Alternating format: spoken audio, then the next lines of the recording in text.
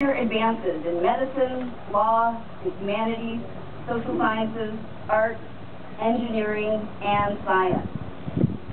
Perhaps you'll be like Bev Crair, one of our alums who defied gender assumptions in Silicon Valley and became the head of Intel's storage division.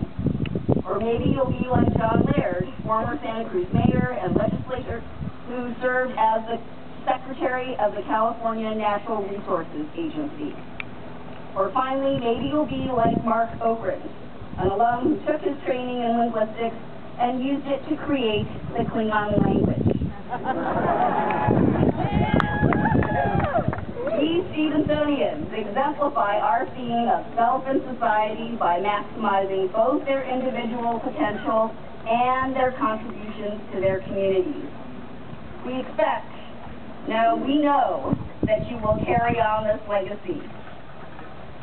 And we also expect that you will come back as alumni who can share your wisdom and experiences with new generations of Stevensonians. And now we have our two student speakers.